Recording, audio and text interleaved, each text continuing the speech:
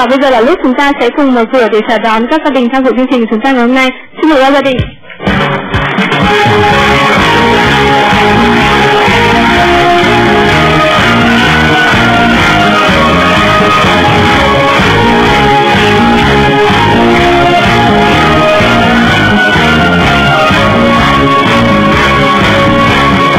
Chúng ta sẽ làm quen với các gia đình nhé. Xin mời gia đình số 1. Gia đình chúng tôi luôn tâm đắc với một câu nói bạn có thể nhặt một đọc tiền Chứ không ai đánh rơi đọc kiến thức cho bạn nhặt cả. Chính vì vậy à, chúng tôi rất vui mừng được tham gia chương trình ở ngày Chủ nhật Bởi vì nó sẽ giúp cho chúng tôi trang bị thêm những kiến thức rất là hữu ích cho cuộc sống của thường nhật của chính bản thân mình. Gia đình chúng tôi gồm có ba thành viên Tôi là Nguyễn Trung Hiếu, năm nay 31 tuổi Là cán bộ kinh doanh. Và đứng bên cạnh tôi là một nửa của tôi mà sau gần 30 năm chờ tôi mới tìm thấy đó là ờ, Phan Thị Thủy, vợ tôi năm nay 27 tuổi. Hiện đang ờ, công tác tại chi nhánh công ty vàng bạc đá quý Phú Nhuận tại Hà Nội. Thành viên cuối cùng và cũng là nhỏ nhất trong gia đình tôi, đó là con chim họa mi bé nhỏ của chúng tôi, cháu Nguyễn Minh Anh. Con nói gì bây giờ nhỉ? Cháu tên là Nguyễn Minh Anh. Cháu năm nay, cháu lên 6 tuổi. Cháu học lớp vào Anh A, Trường mầm non tiểu học Bắc Hà. Nhân dịp năm mới Cháu xin đọc tặng chương trình bài thơ Do bố cháu sáng tác. Mùa xuân rực rỡ. Mùa xuân rực rỡ.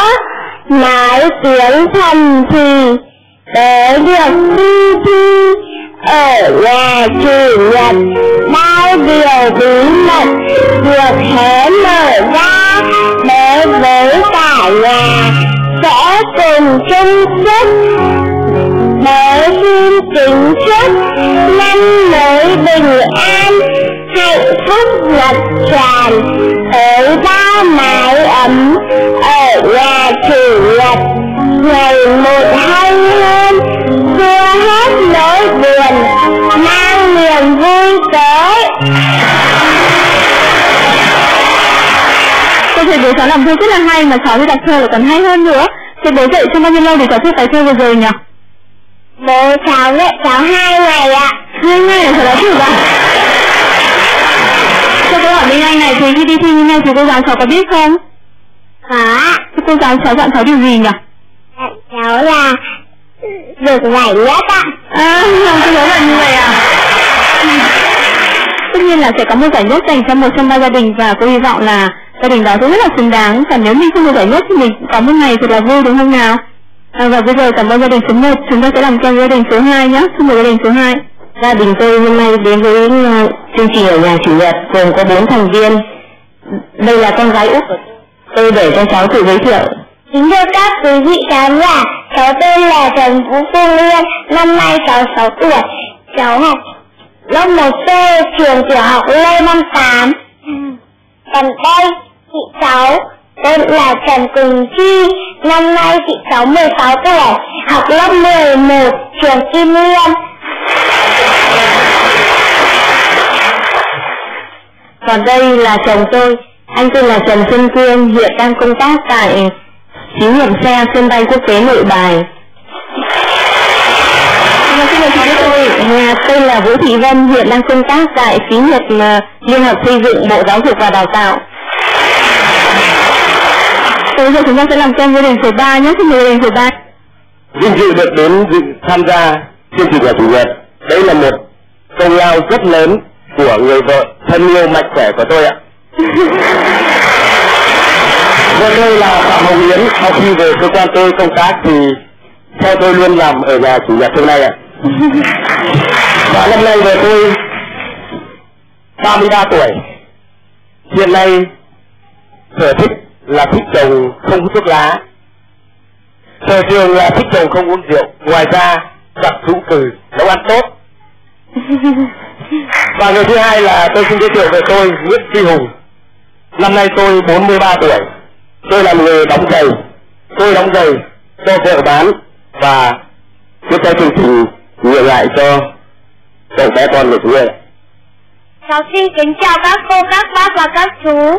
Cháu tên là Nguyễn Minh Hiếu, học lớp 6B, trường thực hành hoa hồng. Sở thích của cháu là vẽ võ, trường Anh. Sau đây cháu xin đọc bài thơ do bố cháu sáng tác. Nhân ngày nhà giáo Việt Nam, cô giáo em giống mẹ, thầy giáo em giống cha, các hiệu trưởng giống bà. Cùng các bạn gần xa, đến trường ơi thích quá, trường cũng như ở nhà. À cô thấy bố cháu có tài làm thơ rất là hay, còn Hiếu thì là có tài nhớ thơ của bố đúng không? Tôi hy vọng sau này lớn lên thì cháu cũng biết làm thơ. Còn bây giờ thì chúng tôi rất là vui mừng để xin tặng ba gia đình, mỗi gia đình 10 điểm, chúc mừng cả ba gia đình.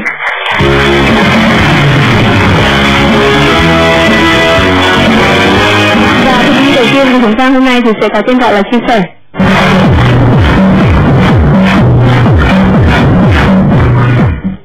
Tình huống mà chúng tôi quyết định đưa ra với sự lựa chọn là đúng hay là sai. Lần này thì các bà mẹ của chúng ta sẽ trổ tài để quyết định là đúng hay sai. Nếu các anh chị đồng ý với tình huống của chúng tôi thì sẽ đưa ra mặt đỏ. Còn nếu thấy phản đối thì sẽ đưa ra mặt xanh. Và nếu các chị trả lời đúng thì sẽ được cộng hai điểm. Còn nếu sai thì sẽ bị trừ đi hai điểm. Các con mình sẽ đứng lại với mẹ nhé, để xem là mẹ trả lời có đúng hay không. Còn bố thì sẽ làm khán giả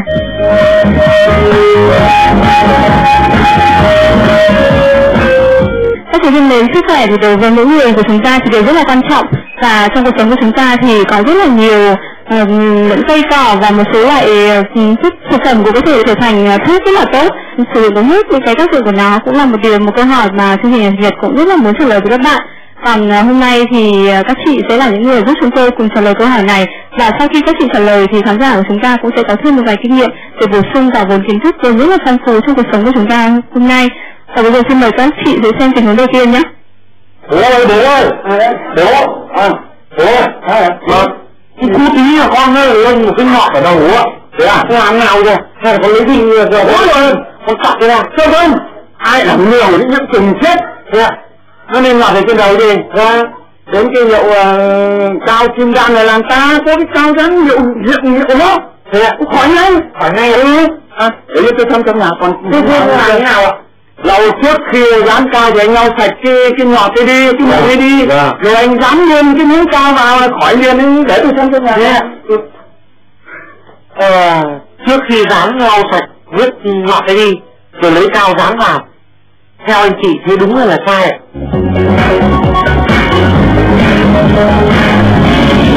Tất cả các chị đều cho là sai tại sao vậy? Xin hỏi gia đình số 1 Tôi nghĩ rằng phải cắt cái đầu cao đi ừ, Sau đó thì làm thế nào nhỏ đi Sau đó là em hơ lên cho nó hơi nóng Sau đó tôi dán lên cái cái ngọt đấy Vâng gia đình số 2 ý kiến của chị thì sao? Thì ý kiến của tôi cũng thế, trước khi dán vào thì sẽ lau vết thương đi vào, Vâng rồi cho cái cao nó hơi hơi cho nó hơi mềm xong rồi À. dán vào. Vâng, thế tại sao chúng ta không dán lên cao vào cái vết ngọt của Nó cũng lên cao sợ là nó cứng thì nó không ăn vào cái À. chỗ ngọt ừ, mình cần Vâng. dán. Vâng, ý kiến của chị Yến thì sao? nếu như mà sau khi dùng cao muốn dán vào cái ngọt được ấy là phải hơn mặn nóng ấm ấm lên một chút thì khi dán với ngọt thì nó mới dính á Chị đã làm thế bao giờ chị ạ? rồi ạ. Thì chúng tôi xem là gia đình, ba gia đình để lựa chọn là mặt xanh và đúng chưa nhé? May quá, tìm vãi tới lên lên. Này, này này này, bạn đó, để lau sạch cái chỗ người đi như chưa? Lau sạch, à, trước kia lau sạch như rồi, gần cái này Anh bóc cái này ra. Con này, bóc ra. Bóc cao ra. Bóc khẩm cao. Ra Vâng. Anh đắp cái cao vào cho cháu Khoái liền Đắp vào, vâng, đắp vào Ui giời bố ơi. Sao? Cao này trước khi dán là phải hơi nóng thì nó mới ngấm được vào mụn chứ. Bố dán thẳng trực tiếp thì làm sao mà mụn nó khỏi được? À, này thế là nóng à? Vâng, tôi không biết cái thằng kia tôi nó dán cho con nó, nó cứ thế là nó đắp vào thôi. Thế thì làm sao mà khỏi được? Ui giời ơi bố ơi. Hả? Thế thì mặt cháu lúc nào cũng yếu Xin chúc mừng các chị đã lựa chọn đúng và như vậy mỗi gia đình được cộng thêm 2 điểm.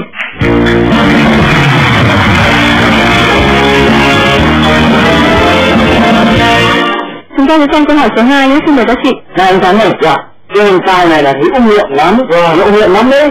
Ờ, lúc mà đau là anh cứ ờ, bóc ra rồi anh dàn mỏng cái cao ra. Rau sạch cái ngọt đi dán vào, cho đến lúc khỏi thì thôi. Thế là lắm, tốt lắm à. Vâng. Thế có đau không con? Có đau không? Ờ, giờ nó mới đỡ dần như thế. Thế chỉ cần một cái cao này thôi, đúng rồi. Khỏi phải bóc ra. Đúng. Sao anh chị thấy đúng hay là sai ạ?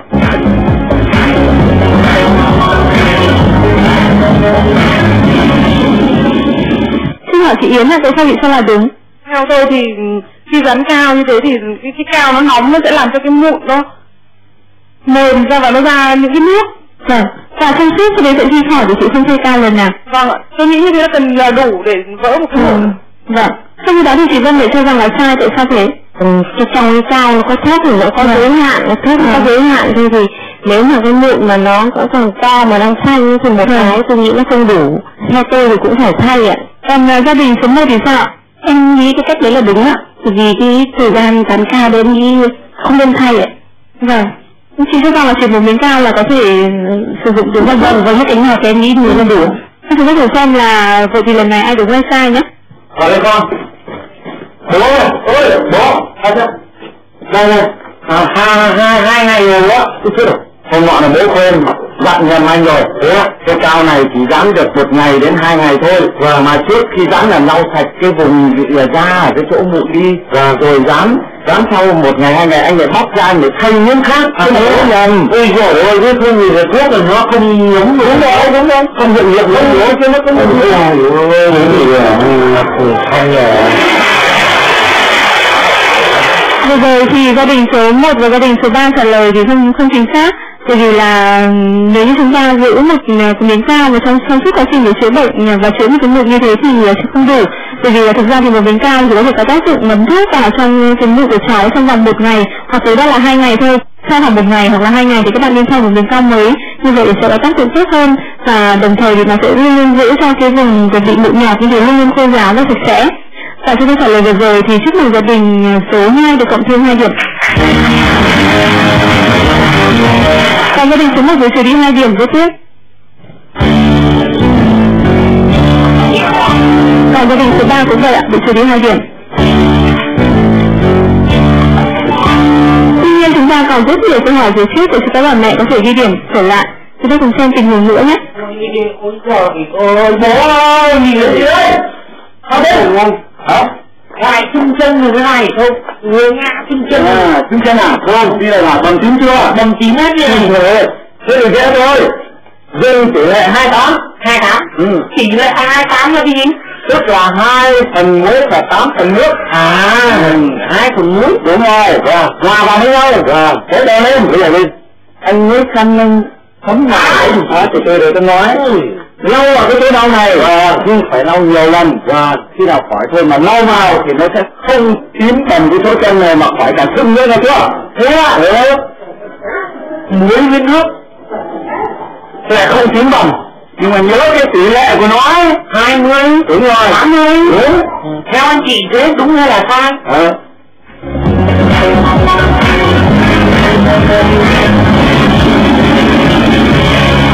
Lần này chị Thủy và chị Vân lại cho là sai Còn chị Yến thì cho là đúng Xin hỏi chị Thủy ạ, tại sao chị cho là sai?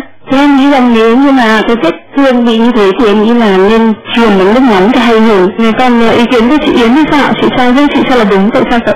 còn vết thương không phát không xước mà là Vâng. sưng lên đây thì có thể dùng muối hòa với nước ấm ấm ra Ừ. ừ, lấy khăn đắp vào hoặc là ngâm chân rồi ngâm vào chỗ đó Chị học mẹo nói đâu ạ?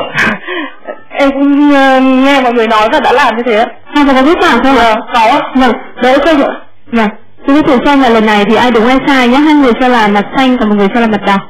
Trước khi xoa con hỏi bố có đau không ạ? Không đau không đau ok đây này. Đây đây đây là bông nhé. Vâng bông. Nước nhé. Nước. Đây là muối nhé. Nhưng mà phải nhớ cái tỷ lệ pha nhé. 28. 28 đúng rồi. vì khi anh xoa thường xuyên vào cái chỗ đau này thì nó sẽ mất hẳn cái vết còn tím và không sưng nữa. Thế à vâng. Thế thế thế thế. Thì chứ xoa một lần thôi nhé nhiều lần nhất đấy nhiều lần thế thì mặt con nó mới đúng rồi xoa nhiều vào nhá. Lần này duy nhất gia đình Yến mới cộng thêm hai điểm chúc mừng chị?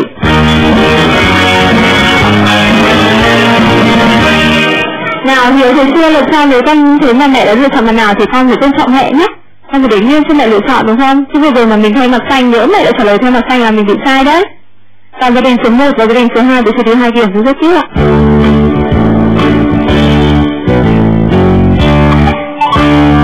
Nhưng vào Yên và Minh Anh đừng lo nhé Chúng ta còn rất nhiều câu hỏi đấy Và mẹ sẽ ghi điểm được trong câu hỏi sau À, xin mời các chị và các cháu cùng xem câu hỏi tiếp theo. Đấy, dạ cái, cái chỗ này của tôi nhiều quá này đỡ nhiều chưa? Đỡ nhiều chưa? hả? Dạ cái này đó là tự đứng lên mới hỏi cái chỗ này còn đau không ừ. đó nó khỏi rồi. Thế đấy có thật nhá. Ừ. Miệng bố ờ, hơi bị răng này đấy. Tôi cảm giờ từng cái anh nhé sát hỏi. Thế là hương khỏi là mình rồi.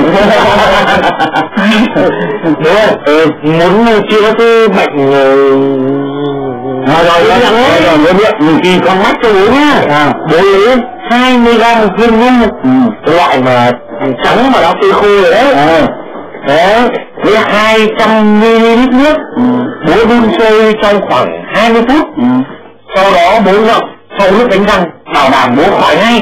Ngậm đánh răng. Vâng khỏi ngay. Thế anh chị anh Thắng nói thế đúng là sao ạ. Ừ.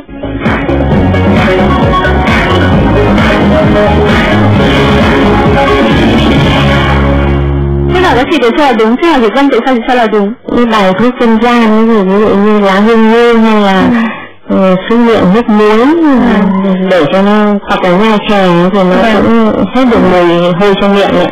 Tức là chị cho rằng lá hương như thì có tác dụng là nó nó thơm và nó có cái tính chất đằng hà đúng không? Ừ. Và nó có thể làm cho thơm miệng. Dạ, Ờ, còn nói cái đình chị Thủy ạ, thì đúng chị thì sao? Dạ, ai cũng như thế.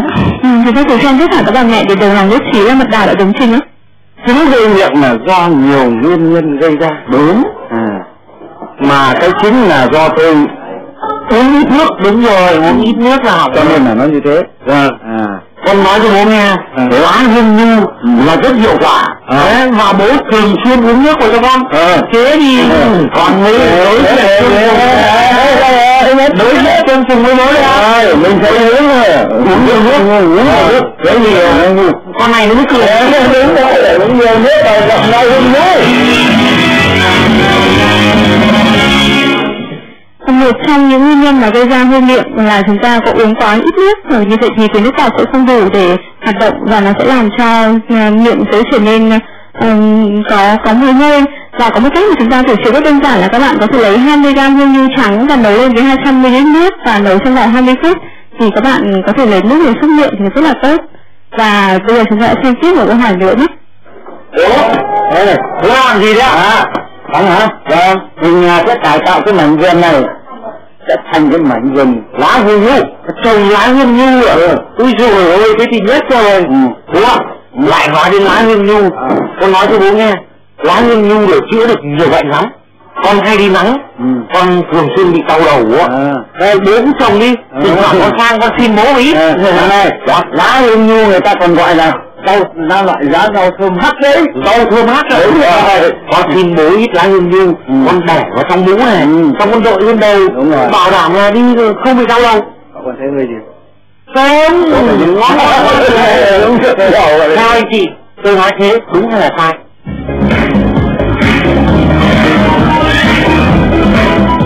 Chị Thủy thì lựa chọn mặt xanh, còn hai gia đình còn lại lựa chọn mặt đỏ. Thế là chị Thủy sẽ không cho là sai. Nghĩ để lên đầu cũng không có tác dụng đâu chị ạ. Nó cũng không tỏa hơi hay là nó cũng không nói thả hơi nhưng mà nếu như đau đầu thì em nghĩ là về sông thì hay hơn. À, thế nhưng ở đây là nó chỉ là một cái biện pháp để phòng bị cảm nắng thì sao chị có đúng hay không? Chị thấy thế nào cũng có đúng ạ. Chị có thể thay đổi quyết định của chị nếu chị cảm thấy là đúng lắm mà. Đúng ạ. Vâng, thưa chị. Còn uh, gia đình số 2 thì sao? Ý kiến của chị thì sao? Chị kinh thích là mặt đỏ ngay từ đầu. Tôi nghĩ là hương như người ta vẫn dùng để đun nước gội đầu hoặc là để là cho làm lá sông thì À. nếu mình cho vào thế như thế hình thức thì nó cũng làm mát rồi và À. nó có cái chất nó có thể giữ tránh được nhức đầu. À, còn chị Yến thì sao? Chị đã sử dụng lá hương như bao giờ chưa? Ừ, theo tôi thì trong hương nhu thì có cả mùi bạc hà và mùi thơm Vâng. Ờ, tôi đã được đun mẹ tôi đun cho làm mũ gội đầu rồi thì À. để khi mà để lá hương nhu lên vào trong mũ mà đi nắng thì sẽ đỡ được cảm là đúng ạ Ừ, thế là chị chị để sao là đúng, con thử xem như vậy là đúng chưa nhé? bố ạ. Ừ, lá hương nhu nó là chữa được nhiều bệnh đúng nhỉ? Đúng rồi. Nhưng ngày xưa làm gì có thuốc tây. Đúng rồi. Gia truyền mấy tháng nha. Vâng. Ngày xưa nữa đấy là không những thuốc mà còn là cái gia vị rất tốt. À nghe các cụ nấu canh gà ăn đấy rồi là cho củ xả này. Rồi xả củ riêng này. Riêng. Hương như như cho vào nấu lên thành một món ăn tuyệt vời. Mà lại chữa được bệnh. À thế ạ vâng à thế thì ăn màu ăn màu không mà trời ơi không nói Chúc mừng bác sĩ lần này thì cả ba người đều được cộng thêm điểm.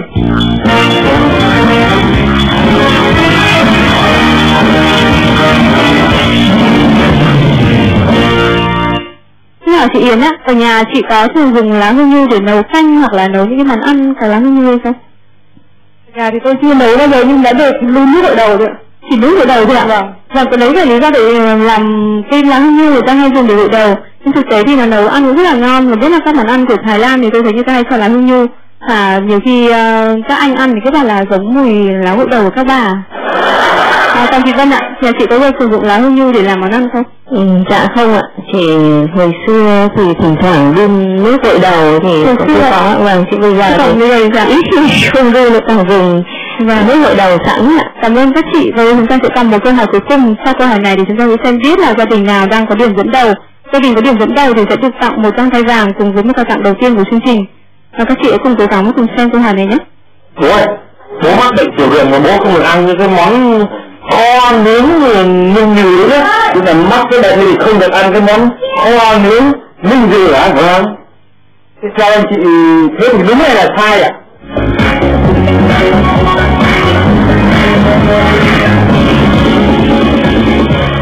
Thế là chị Vân ạ, tại sao chị sao là sai? Nhưng nhiều thì là nó đã bớt đi cái ờ, kiểu như các chất nó Vâng. bị mất bớt đi rồi đấy ạ. À, thế còn nướng thì sao ạ? Mỡ thì nó cháy lên thì nó giảm bớt mỡ đi ạ. Thế khi đó chị chỉ của chị Yến sao là đúng, là chị Yến thì sao lại đúng ạ? Ừ, Theo tôi khi mà người bị mắc bệnh tiểu đường ấy thì là phải cần ăn nhạt Vâng. mà những món kho nướng với cả ừ, nhiều thì bao giờ cũng phải có gia vị À, cũng mặn thì không tốt là phải ăn những thứ luộc và ăn nhạt à? ăn luộc và ăn thứ nhà. Chị chỉ ý kiến của chị thì sao? À, ý kiến của em thì cũng vậy ạ. Những người tiểu đường thì nên ăn nhạt và không nên ăn những cái chất mà có nhiều chất quá. À. Thế thử xem là vậy thì lần này ai đúng hay sai nhá? đúng rồi. Bác sĩ dặn tôi thế. Và và những người mắc cái bệnh tiểu đường đấy là ăn những cái chất ít có đường và không được ăn béo này chất béo ví dụ như là rang nướng rồi rồi hầm lúa bố. Bố mà ăn những cái món này vào làm cho hệ miễn dịch bị nhiễm trùng nhẹ đấy bố ạ. Đấy cũng tôi cũng phải tiếp thu đây vâng bố phải tiếp thu thì bố mới có sức khỏe bố đúng rồi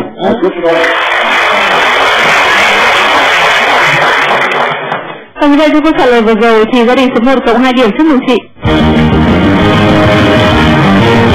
Còn gia đình số 2 thì phải trừ đi 2 điểm rất tiếc. Còn gia đình số 3 được cộng thêm 2 điểm chúc mừng gia đình số 3.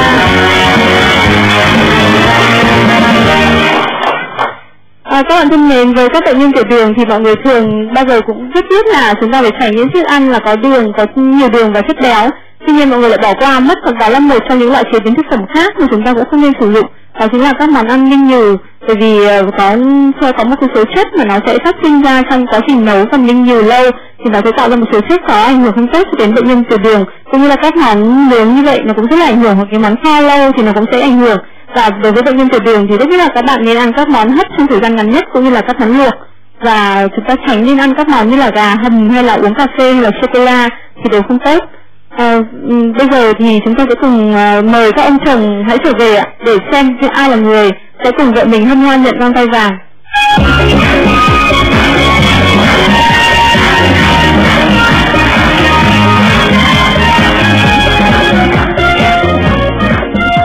Hiện nay điểm số của gia đình số 1 đang là 14 điểm, điểm số gia đình số 2 là 14 điểm và gia đình số 3 là 18 điểm. Chúc mừng gia đình số 3. Và tôi vui mừng tuyên bố là gia đình số 3 sẽ nhận được danh hiệu đăng cai vàng. Chúc mừng gia đình số 3.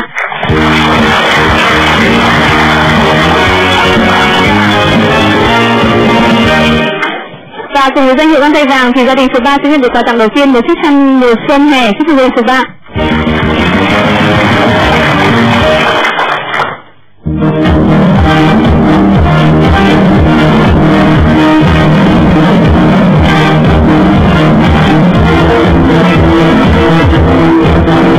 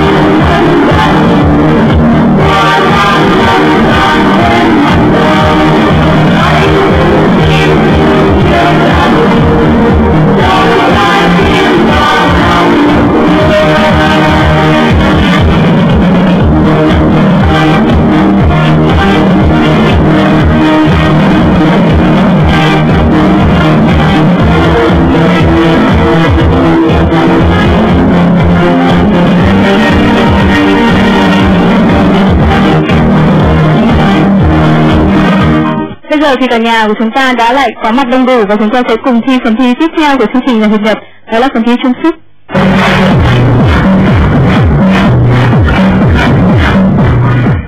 Trong phần thi này của chúng tôi, mỗi câu hỏi sẽ có nhiều lựa chọn. Các anh chị hãy cùng tìm ra lựa chọn nào đúng nhất, lựa chọn nào sai.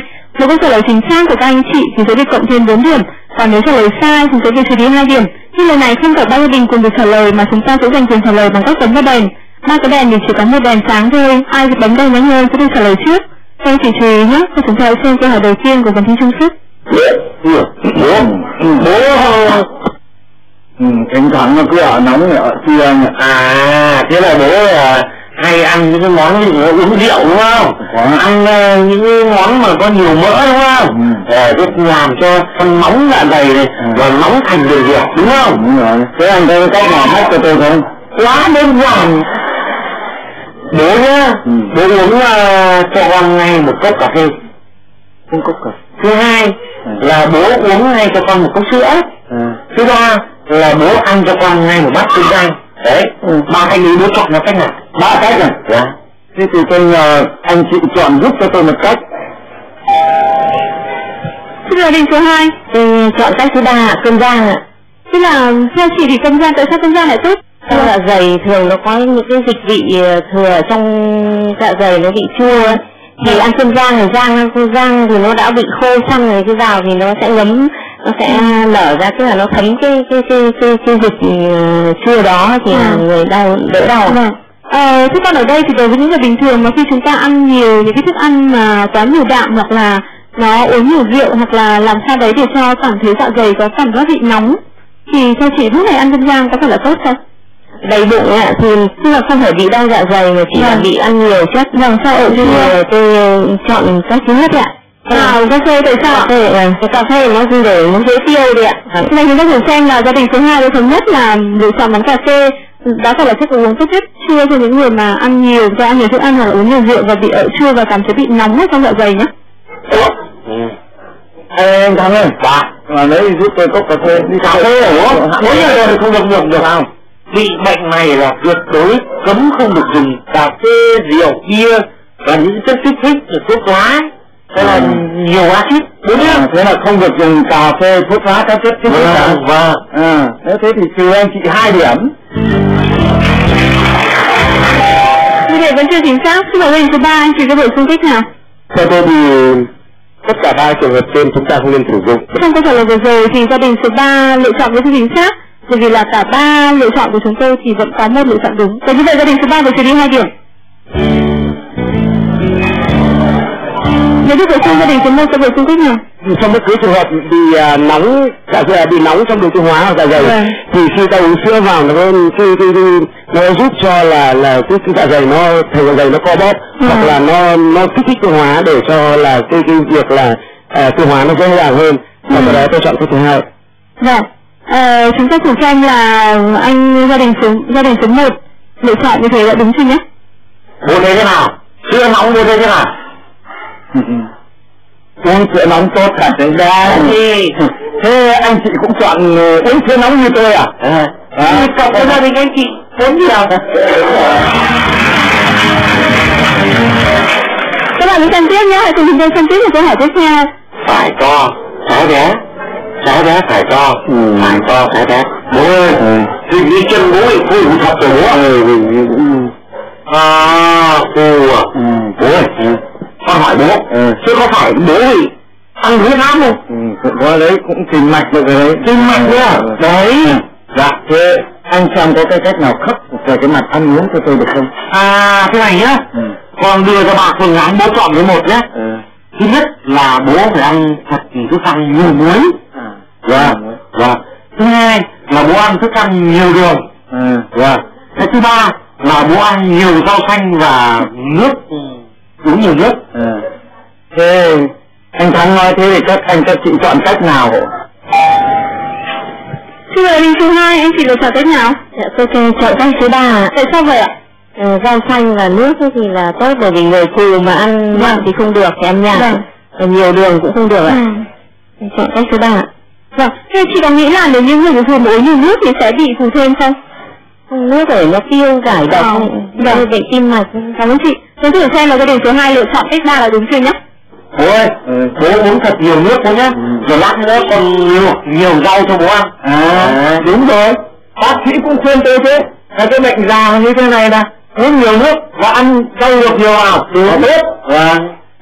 Vừa là nhiều vitamin C, không sơ cứng động mạch. Đúng rồi. Phòng gia đình anh chị này, bốn gì ạ?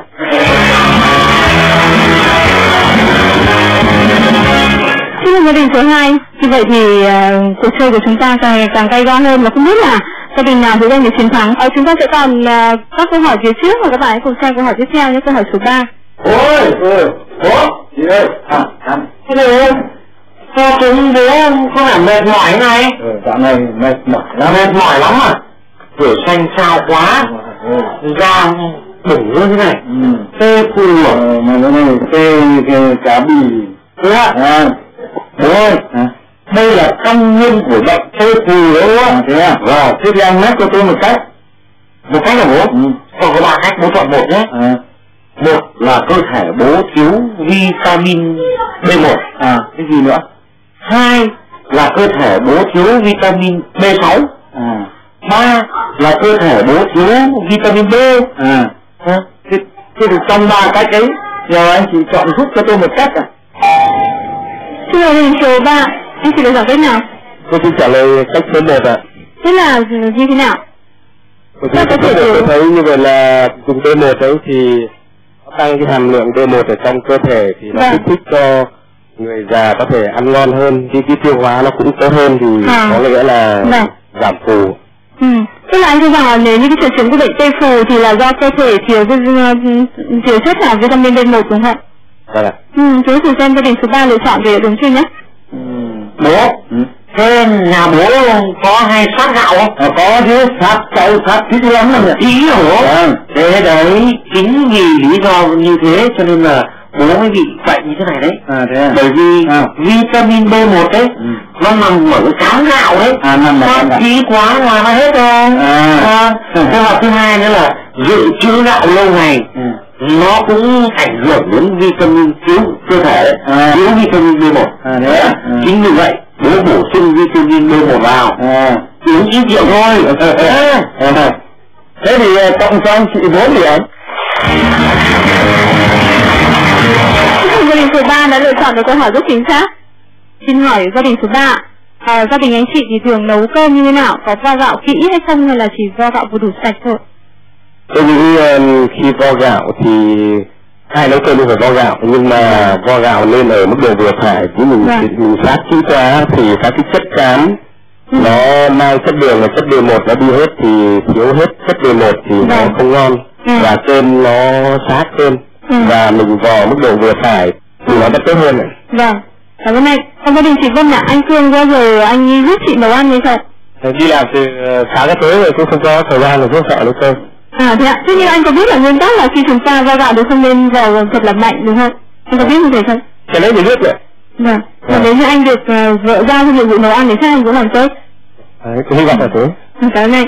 Còn gia đình số 1 thế nào? Anh Hiếu có giờ anh giúp chị nấu ăn hay không?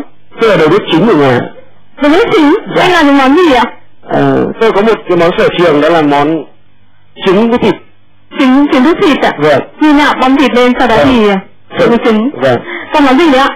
ờ, tất nhiên là cũng cũng còn nhiều món ví dụ như là món thịt luộc với mắm tép và khế chua với Ừ. phần Nghe rồi thấy thèm, rất là ngon. Với cùng với đậm đà và khéo tay. Cảm ơn anh. Còn chúng ta chỉ còn một câu hỏi ờ, cuối cùng.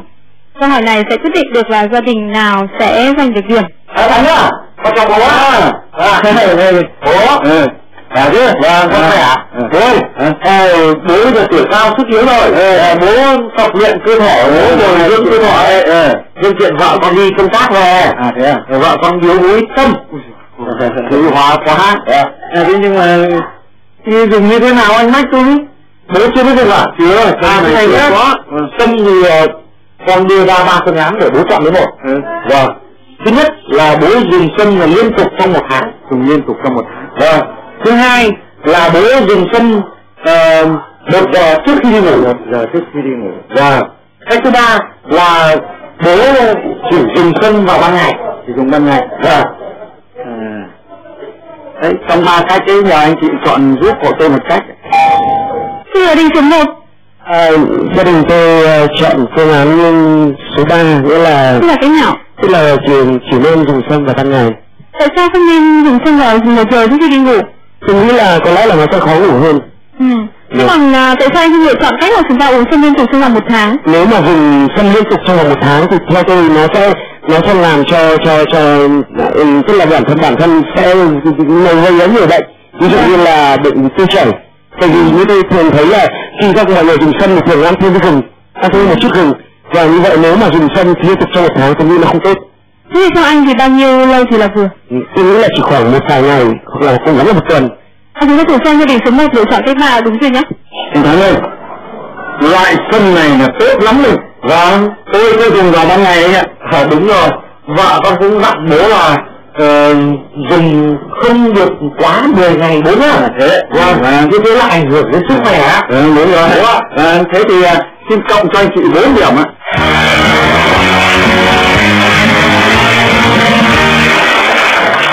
rồi thì anh nhiều có đưa ra lời khuyên là chúng ta uống sâm thì không nên quá xuyên liên tục ừ, quá dài và anh đưa ra là khoảng là một tuần. Thực tế thì chúng ta có thể sử dụng là nếu như chúng ta uống sâm thì chúng ta không nên uống liên tục quá 10 ngày. Bởi vì là nếu các bạn uống quá dài thì cũng sẽ không tốt. Và đặc biệt là các bạn cũng ờ, không nên là uống một tiếng trước khi đi ngủ bởi vì như thế sẽ gây ra khó ngủ. Và các bạn uống xong thì các bạn có thể chia từng đợt cứ mỗi đợt 10 ngày và sau đó lại nghỉ một thời gian rồi sau đó chúng ta lại dùng lại sâm tiếp. Thì tốt hơn là chúng ta dùng liên tục trong vòng một tháng. Và các bạn thân mến, bây giờ là lúc chúng ta sẽ xem điểm của các gia đình. Hiện nay thì gia đình số 1 điểm số đang dừng lại với 22 điểm, gia đình số 2 16 điểm và gia đình số 3 20 điểm. Và như vậy giải nhất của chúng ta ngày hôm nay thuộc về gia đình số 1, gia đình chị Thủy Anh Hiếu và Phạm Minh Anh.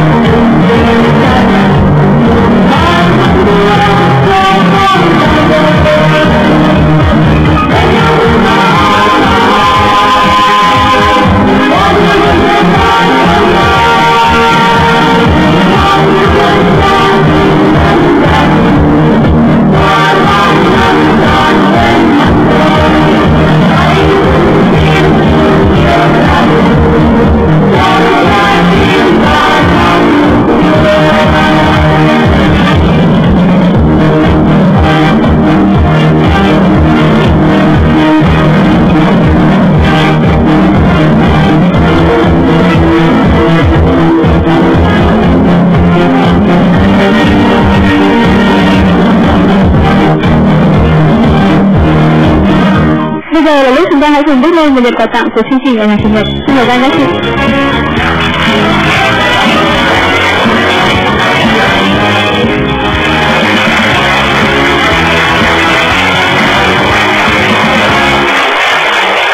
Đây là quà tặng của chương trình ở nhà chủ nhật dành cho các gia đình. Mỗi gia đình đều rất nhiều quà từ nhà tài trợ. TS chúc mừng gia đình số 3.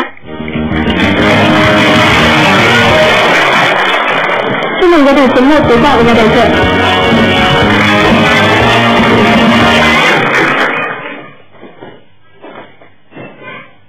Tiên mẹ mang cây đánh răng về và rủ cả nhà đến đánh răng nhé. Xin mừng gia đình số 2.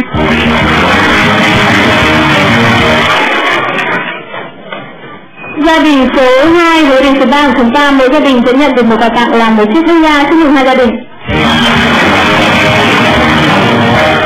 Còn gia đình giải nhất của chúng ta tất nhiên được quà tặng lớn nhất đó chính là một đầu đũa hình VCD chúc mừng gia đình số 1. Bạn thân mến, sẵn trong cuộc sống của chúng ta Rồi các bạn hãy áp dụng một số mẹo nhỏ trong chương trình là chủ nhật để làm cuộc sống của chúng ta ngày càng phong phú hơn và các bạn sẽ có một sức khỏe ngày càng tốt hơn. Cảm ơn các bạn theo dõi chương trình.